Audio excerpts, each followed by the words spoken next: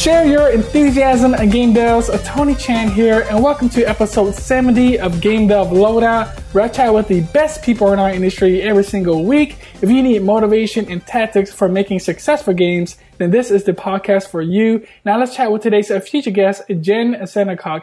Jen, it is a game time. Are you ready? Yeah, I think so. you think so? Okay. Uh, Maybe not, actually. Can we have another 20 minutes? so she found the independent mobile game studio called Inquisiment with the goal of creating experiences that foster friendship, curiosity, and challenge. She is also in the process of creating a series of edible games, which we definitely got to get into later in the show. Uh, because I love talking about food and I'm curious at, at how you how you got that started. Her works include Thimbleweed A Park, aglimpse friends, and L.A. Noire, and much more, of course. Uh, go ahead, Jenn. Give us a bit about your personal life and how you got started in the game industry. Oh, okay, yeah. So, um, I guess like when I was younger, I loved playing like all different sorts of games, whether that was like um, tabletop board games with my family, or like uh, we played a lot of adventure games, like point and click adventure games.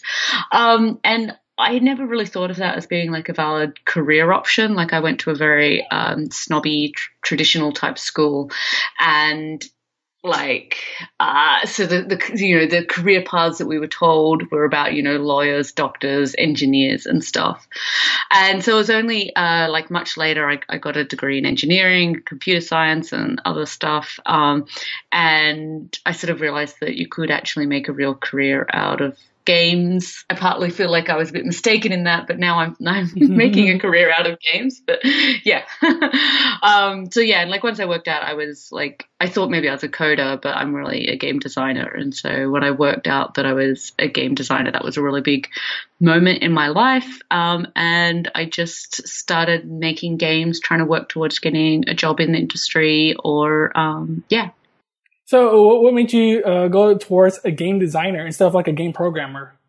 Um, so like at the time I was doing um, a master slash PhD in artificial intelligence, and I was surrounded by really good coders. Uh, and I can code, but I'm not. That's not what I'm best at. And like there was one particular person who was like socially awkward, you know, kind of classic sort of Asperger's programmer type person, and you know he he was also looking for jobs in the games industry, and of course he got a job uh, as a coder.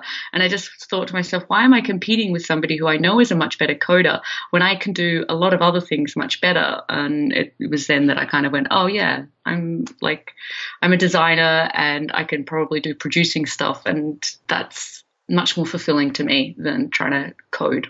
yeah, I, I, think that's the same with me. Programming, it just I just can't get a hold of it for some reason, and I think game design is where uh, I shine, I guess. So let's talk about game design. What is something we probably don't know about game design that we should?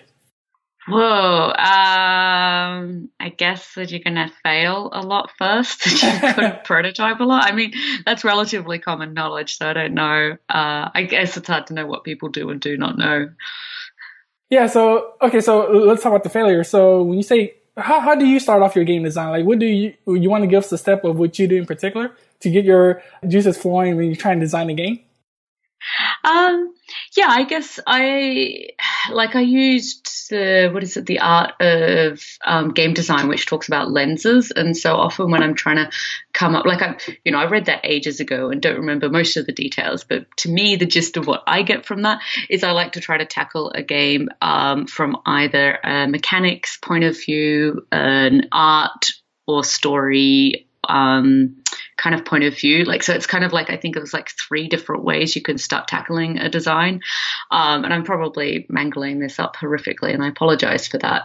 Um, and I know for me, like art is definitely not a strong point, so I would never look at something from um, or very rarely would look at something from an art point of view unless I was working with an artist who was like, okay, you do cool stuff. I want to create a game that uses your cool stuff. Um, but generally, I I try to take a little core nugget of something and I build from there. And so I like to give myself a bunch of constraints. I'm like, okay, it's got to work with such and such tech, or I want to do something where you're getting across the story of somebody who is quite happy to never find the one and being single is a good thing for this person or whatever it might be, you know. So you're, you're coming from, at it from like a, a more of a story perspective.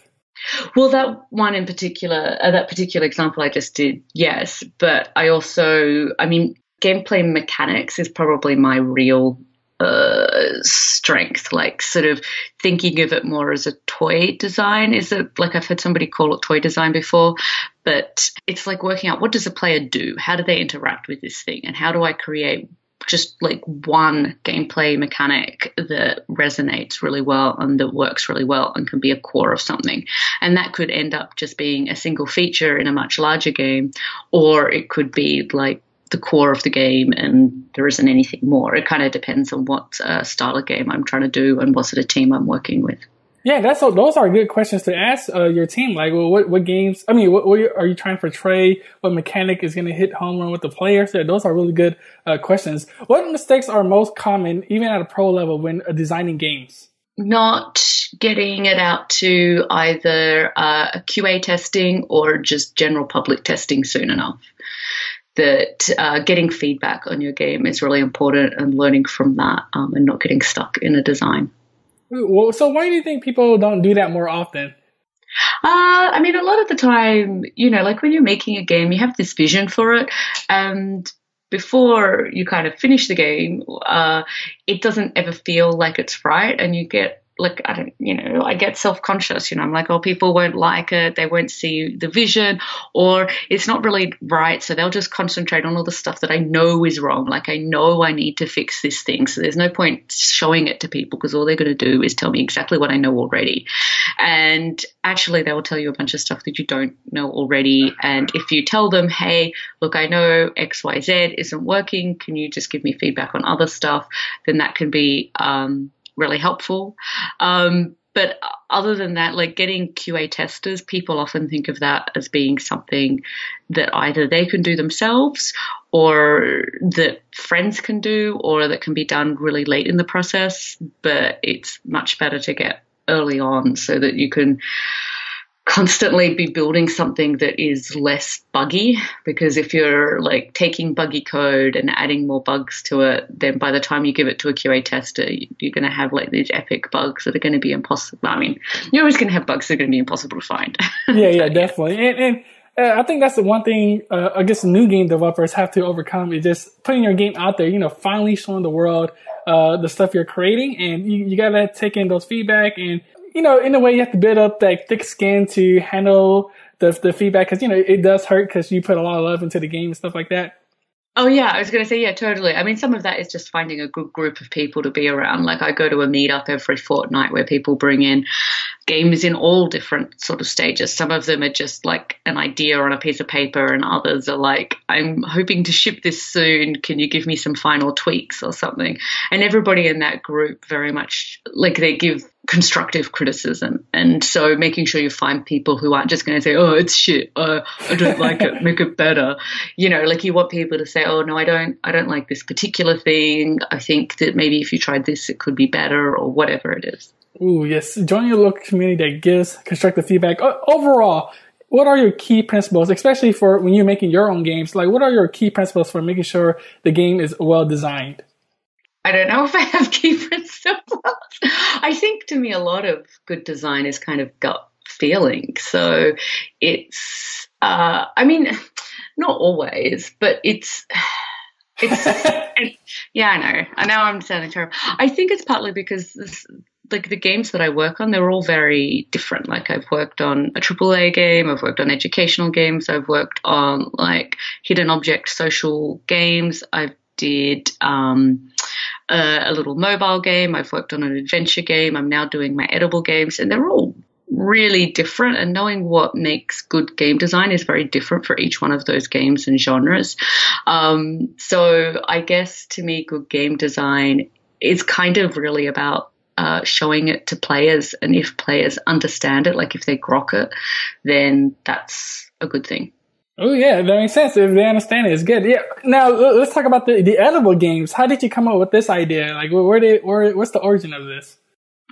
I mean, it's been bumbling around in my noggin for quite some time. I um, I've loved baking for like as long as I can remember, and I like games.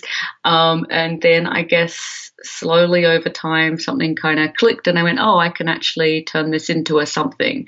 And guess yeah, it was just an evolution. So uh, I guess then game devs like what what exactly is edible games? so I know there's other people who do some stuff where there's food-based games or food is somehow related into the games. For me, what makes um, the games that I want to try to work on for edible games be interesting is the eating is uh, one of the core gameplay mechanics. So if you didn't eat, you can't play the game. So that somehow eating like changes something significant about the game or the board or gives you information that other people don't have or it's it's something it's something real um, and not just um, like oh hey I captured this person's pawn now I'm gonna eat it. Uh, that's that's interesting but it's I'm trying to go for an extra layer on top of that. How many different edible games have you made so far I've got six that are really solid right now. I've got a seventh that's pretty good but needs a bit of tweaking. And I'm aiming to create a dozen or maybe even a baker's dozen of games. Whoa! I'm curious. Uh, is it kicking off? Is like how are, are other people taking to it? Uh, people, I mean, so I did a, a lot on it um, last year and I got to show it at a lot of places and it seemed to do really well. Like I showed it at Indiecade and I even got an award, which was just oh, wow. phenomenal. I was shocked by that. And then this year I've, um, it's had to kind of take a bit of a, a back seat because I've been working a lot on Thimbleweed Park and I was recently working on a game that was a tabletop game that's enhanced by the Amazon Alexa, which was a super fun project, but it meant I couldn't work on my edible games. So I'm kind of just this week jumping back in and, and heading forward. And my current goal is to create a cookbook and try to kickstart that cookbook. You worked on so many different type of games, AAA, indie, then you got an award for making edible games. See, now just think about how the future is going to be like, you know, because we have VR, then AR, then mixed reality, then edible games might be something huge in the future. You just, we never know. That'd be insane. I, I didn't even thought about it. And I love food too, so uh, I'm looking forward to it when your idea kicks off like uh, mainstream. Good, thanks. Now let's go on a more personal level. And you, you've been in the industry for a while now. Uh, tell us about the worst moment of your career. That one moment that's still vivid in your mind. Be very detailed and tell us that personal story. Um. Yeah. So I. I don't know. I've had a number of bad moments in my career. Give us that one that just pops in your mind. Which one is it? Um, I. I mean, there was one particularly where I was told I was jeopardizing my career. Um, like this was working um, you know, in a studio that didn't necessarily respect time off very much. I don't want to name names. Um, but one of the things I did to try to increase morale was I would um, bake a cake once a week and bring it in for everyone to, you know, hang out. And Aww. it was really it was good for me to be able to meet people in the studio who I want, who I needed to work with. Like as a designer, you kind of need to work with a really big range of different people, um, and so it was useful for that. Um, but then management just started thinking that we were always slacking off and eating cake, even though this was like a once a week kind of thing. And so I got told that if I was going to keep bringing in cake, I was like jeopardizing my career in games. And so, yeah, that was a pretty crappy moment. What in the world? How how, how is someone disallowing free cakes in, in, for the company? Come on now. yeah, it was pretty outrageous, and it was definitely something that made me kind of think about where I wanted to be and the sort of companies that I want to work for or create myself if I'm creating a company. Um, you know, and, and it's like I knew that was a contract gig and that wasn't going to last forever, or you know, I wasn't going to be there forever. And it's just about yeah, like time off once a week is important and helps people recoup and makes for better workplaces overall. We, we heard about this, you know, crunch time or being overworked or, or, you know, just taking time off, like you say, could look bad on yourself or for certain companies. What do you want to make sure a game does uh, take away from that experience in case, like my, myself, I want to join the game industry, but then I hear all these stories about, you know, crunch time and how, you know, I don't know if a lot of company does it, but, you know, we know that some does. Like, I want to encourage game does that from what I hear, the game industry is a great place to work at. You just, crunch time moments or something. Like, what can we take away from that experience? I think game development's hard. Like, if you look at, say, the film industry, they've kind of got making films down a bit more pat than we do making games. So that some people, when making films, know very precisely that it's going to take X months. With games, for whatever reason, whether that like we're trying to do more different sort of things that are non-linear, it's much harder. So you're probably going to encounter crunch, whether it's from uh, your company forcing you or or the company culture encouraging you to, or whether it's just yourself. Like even like as an indie, I feel like a lot of indies talk about, oh well, you know, I did all this work and I never slept to release this game, and look, my game's a success, therefore, yay. And it feels like it's like you know uh, like just something that you have to do to be able to make a successful game. And if you're not going to crunch, you're not going to make a successful game. And and that attitude is okay if you're okay with it.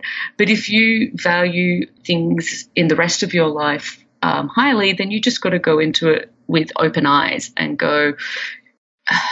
like it's like do you want to be a short-term game developer or is this going to be for the rest of your life right? Like if you're like well i'm going to make some great games for like you know five years and then i'll probably get burnt out because i'll have put all my life in it maybe that's okay. Maybe you want to just like do the best that you can in a short period of time but if you're going into it for a long haul, you've got to uh, you've got to make choices and make choices that are right for you. Whether that means your game's like if you're as an indie and it means your game's going to get delayed by six months, then just live with that. Like own it.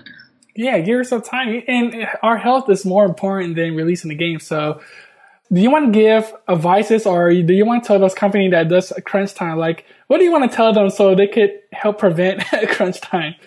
I think preventing crunch time comes from so many different factors. Like if you're starting out and working out, working on your own stuff, like if you don't have any form of like crunch time comes from some amount of pressure, right? You've got to finish something by a certain date or milestone. And if you don't have any pressure, then you're never going to ship a game. So you do need some amount of pressure. It's about working out where that where that limit is. So I guess I guess, I mean, I, I don't feel like I can talk for big studios because to me, a, lot of those problems come from upper management and they're never going to listen to us and they're so set in their ways. If you're like an underling, give yourself limits like, work six days a week for a certain amount of time, but never work seven days, or like, and just let that be known. And if that means that you lose your job, you've just got to go, okay, well, I would have lost, you know, my health if I had stayed there. But yeah, and if and if you're an indie, just make choices about what's important to you and say, well, I'm going to work at most X hours per week and set up a little timesheet and then track your hours. Yeah, set up set up boundaries and, and like Jenn just say, track your hours if possible because this podcast is to help motivate you to make gains, but I don't want to do I don't want to motivate you at the cost of your health. So I highly encourage you to set up boundaries and exercise as well, which is good for your health. In your profession, like, do you hear any bad recommendations you hear in your profession? Mm, uh, I mean, I think most people know that this is like untrue now, but like the sort of build it and they will come kind of fallacy. Like, if you build a great game, people will see it and it'll be awesome. And when you say to people, actually, no, I know people who've made great games and they haven't done well, they're like, well, give me an example. And you, you know, you could potentially give them examples like, well, I've never heard of that, so therefore it's crap. And I'm like, well, no, it's yeah. a good game. You just haven't heard of it. There is plenty of good examples. But but you know, with survivorship bias or whatever it is, people often only see like game X was good and did well game X, you know, wasn't good and didn't do well, you know, they don't necessarily see all of the thousands and thousands of games that are coming out all the time these days. Yeah, and that's why marketing is so important. You got to put your game out there early so people can see it, and uh, you know, as you build out your game, your community grows with you. And, and for game development, what is the biggest waste of time biggest waste of time, spending too long preparing and not enough time doing. Oh, you want to expand upon that? I guess I just mean like you can you can plan for a really long time. Actually, I'm, and I'm falling a little bit victim for this at the moment. Now I'm finally able to work on my edible games. I'm like, okay, let's start planning out what the hell I'm going to do. And, you know, it's much better just to make, just to do. Like, what you're going to do is probably wrong and we'll need revisions and stuff. But just, you know, it's like spending ages on a game design doc. Don't don't do that. That's just stupid. Just make something and show it and then iterate. Like if you're on a big team and you need to communicate ideas, like put some stuff in a game design document, sure. But otherwise just start doing like examples, particularly in games, examples are much more powerful than any amount of words. Yes, yes, take action on your ideas, game devs. You know, just stop waiting. Uh, there's no reason to wait. You just gotta take action and, and get going. What have you changed your mind about in the last few years and why? I don't really know. I've probably changed my mind about too many things. I guess I guess it's like more about knowing your limitations. Like I did a glimpse friends and I'm really proud of that game, but like it was a total failure. Like barely anybody downloaded it. It was, you know, and I knew it was going to be tough, but it's it's like I was trying to do a free to play game as a solo dev. And that's just not like it's not possible in this day and age. Nobody can do that, no matter how amazing you are. So just know know your limitations or know what scale you're going for. Mm. What are you going to change after that experience? Like, what have you learned from that? So I guess I've I've learned to only try to make things that me or the team that I'm working with can feasibly do. So, like my edible games is about making a cookbook and designing a bunch of games. And yes, I'm going to need some help, but I'm not going to, like, it's not like I need to have 20 different people helping me. I only need a bit of time from, you know, somebody who knows how to lay out books, um, and somebody who can do a video for the Kickstarter or things like that. Like, it's, it's something that I can kind of do. And if it's about making a book, then that's pretty scalable compared to I'm not going to start making um, cooking kits that people can buy in a shop. Like that's a cool idea, but it's not something I would be any good at being able to do, and it's not very scalable. Mm, gotcha, gotcha.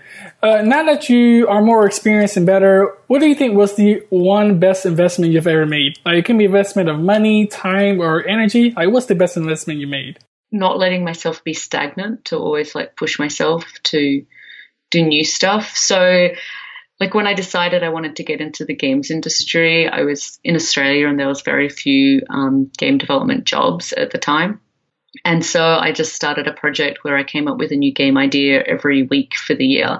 And, you know, one of my edible games was in that, uh, in that project. Um, it's, you know, and that was what, what, eight, nine years ago? I don't know, eight years ago probably. And yeah, I think it was, and, and then, you know, it's, I guess throughout my career when I'm like, uh, I'm kind of stuck. I'm not necessarily excited about exactly what I'm doing right now. It's about, well, I'm just going to start coming up with new ideas, implementing stuff, pushing myself. Love that. Yeah. Once you, you I, am pretty much at that stage right now where in my job, I just feel like I've been doing it too long and it's time for something new. So that's why I've been pushing myself to do the podcast and to join the game industry. So if you're in that mode where you're just feeling stable now or it's just too uh, stagnant, it's time to do something new. It's time to you can't be doing the same thing over and over. So you gotta do something fun, something exciting. Aside from your edible games, like what was some other great ideas you had to date? Like an aha moment? I guess there's a bunch of like little things that I felt like have been really good, like working on a team with other people. And I'm like, oh, you know, we should totally do do this. Like in um, in Thimbleweed Park, um, we wanted to have a hint system in the game, and then like kind of just like having this aha moment, realizing that we could make it as though it was a phone line that you call up. Um, such like hint lines were kind of like that back in the 80s and 90s. You would dial up a number and kind of realizing, oh, great, this fits in with the fiction of the game and it fits in, like it doesn't feel weird and it's something that I can just kind of do which I did. And so I think I think all my I mean it's a long-winded way of saying like I think my aha moments have been more like little things, like realizing how stuff kind of fits together or fits in with the team or adds to an existing um, setup. What's the game industry like booming now? You know, the, the, Switch is popular. The PS4 has a lot of great games. The Xbox X is almost out. What are you most excited about today in the game industry? I don't know. I'm actually not that excited about the game industry. What? I find it really depressing. There's so many games out there. Like it's it's really overwhelming. You look at the statistics on Steam and otherwise. It's just you know, it's it's so easy for people to make games, which is a good thing because you get a bunch more different voices out there. But then it's really hard to find the good games out there. So I don't know. I, get, I guess I'm excited in the games industry that you don't have to make violent games. You know, that I'm not ever been very interested in violent games, and it's really good that that there's some decent large games out there that are not about killing people. Yeah, yeah. What is the one game that influenced you the most, and why? Uh, it's, it's probably a toss up between Leisure Suit Larry and Fahrenheit. so Leisure Suit Larry just well, and I guess also Monkey Island, like adventure games when I was a kid, they just really spoke to me. It was just something that I could play with my brother and sister who were older. Like I never actually got to control them or do anything. It was always them controlling, but I still felt like as the youngest I could contribute. And so I think that kind of family even though I'm still like playing games by myself, it's kind of weird. I don't know how that influenced me, but I think that was just like realizing that like video games can appeal to a lot of different people. And then I think Fahrenheit, which was a game by Quantic Dream, who did like Heavy Rain and stuff. I think it was called Indigo Prophecy here in the States. I think I just liked the way they played with different mechanics that they it was just interesting to go, oh, look at look at the way they've done this. Look at how they're manipulating my emotions. Yeah. Are you excited about their new game? I believe it's called Detroit. I didn't even play their last one that they'd done. No, I I haven't followed along. I think I think David Cage kind of started to annoy me and Why do you love being part of the game industry? Because I love being able to be to do technical things, but also be like super creative. Uh, I love all of the possibilities of what I can do, and I love being able to create more positive experiences for people out there. Oh, yeah, that's awesome. That's what's so great about games. It's a really social experience. It's really positive too. If if people play in a positive way, it's just I love being a part of the video game industry and spreading that out there. Awesome. The game isn't over yet, Game Dust. Before we head into the lightning round, if you enjoyed the episode and want to hear more inspiring stories, make sure you subscribe to the podcast. And so, Jenn, I will ask you a quick question. So you'll be giving us a ton of valuable information in return. Are you ready to crush it and release the show? sure. Yes. What was holding you back from joining the game industry? Uh, not thinking it was a valid career option. What's a personal habit that contributes to your success? all never stagnating, always pushing myself. Always pushing. Uh, what's the best piece of advice you've ever received? I don't know. Oh, I know. Coming coming up with like your three core values for yourself. Like what what are you all about and what's important to you? Do you mind sharing yours?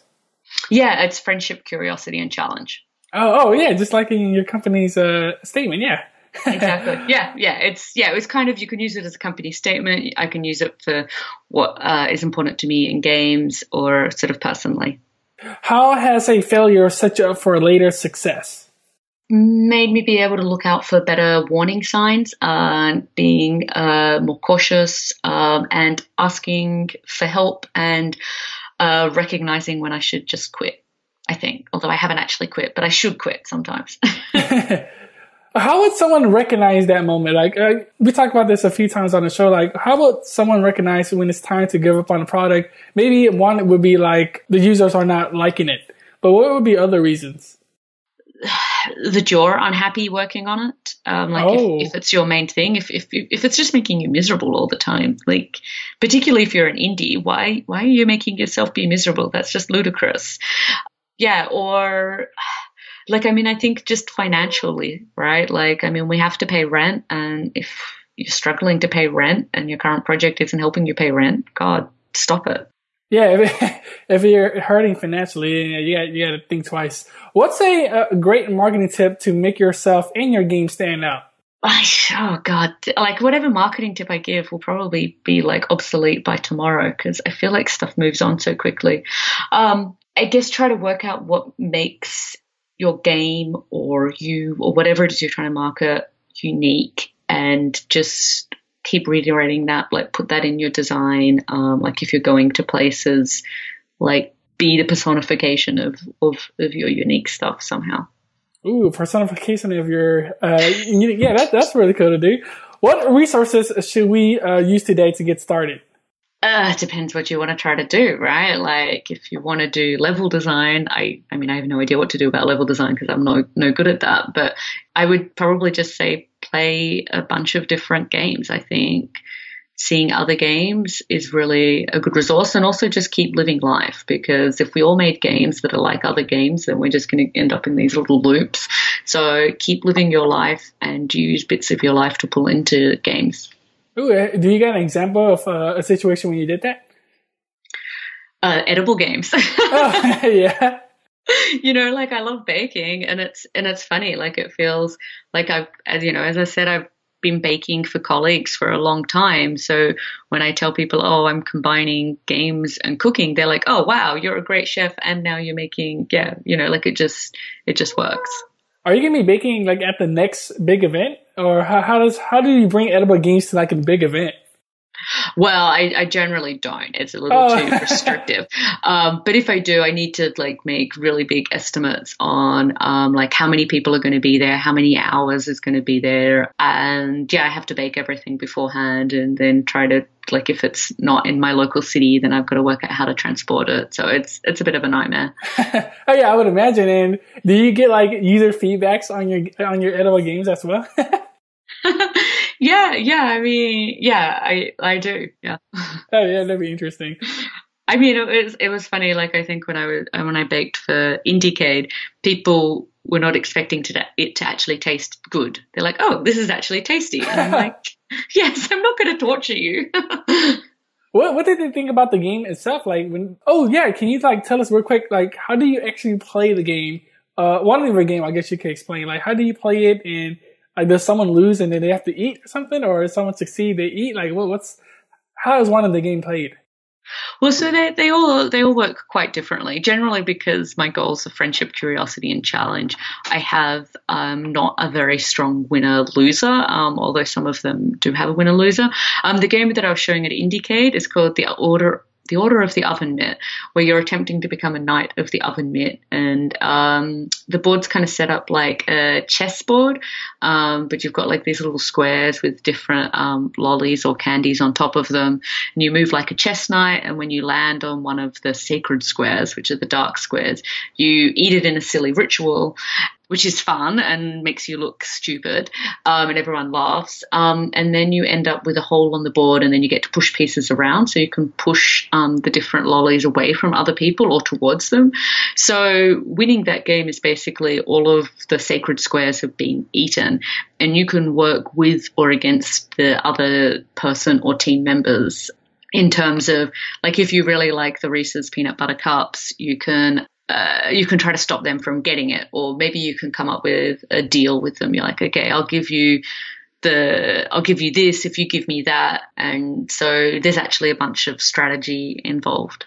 I, am like, I, I, like asking about edible games because I, I, just love food, so, so I'm just really curious about all the time. Now, this next question is a bit of a doozy, so uh, take your time if you need to.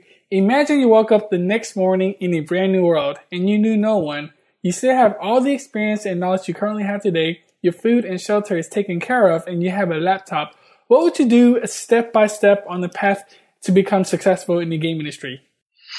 Uh, I would look for like-minded people um, and other um, and like meetups of other people, and then I would, from learning from people who know more than me, I would work out what what to do next. And in terms of game design, like, is there a step by step you could help us out with to, to become successful as a, a, a game designer? I think it's just start making games and seeing whether other people find them interesting as well, um, and seeing what resonates with you and what stories or mechanics or art you want to get across, um, and just being true to yourself. Oh yes, get started, game devs. We have reached the end. Go ahead and give us a, a party piece of guidance in how we can connect with you, and then we'll say goodbye. Yeah, sure. You can follow me on Twitter at Jenn Sandercock and on my personal website, jennsand.com. Um, I've got like a newsletter for my edible games if you want to find out about that and a bunch of stuff about some of my other projects. And what's a party piece of guidance you want to leave us? Be true to yourself. Like, yeah, know, know who you are and keep learning who you are and don't let other people tell you how to be. Jenn, it's been a pleasure. Thank you so much for sharing your journey with us. And for that, we are truly grateful and we will catch you in next time.